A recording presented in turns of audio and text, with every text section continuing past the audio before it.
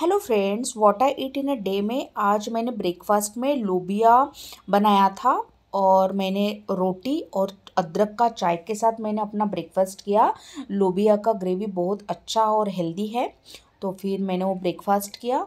उसके बाद दोपहर को मैंने खाने में स्पाइसी वाला चिकन ग्रेवी बनाया था और बाजरे का रोटी और ओनियन के साथ मैंने अपना लंच किया।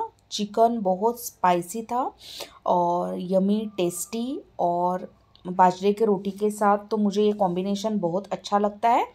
और तो ये मेरा लंच है और रात को तो फिर मैंने आ, सिंपल सा गरम गरम राइस ओनियन और चिकन के साथ मैंने अपना आ, डिनर ख़त्म किया। तो ये व्लॉग मेरा पसंद आए तो लाइक शेयर और सब्सक्राइब बाय बाय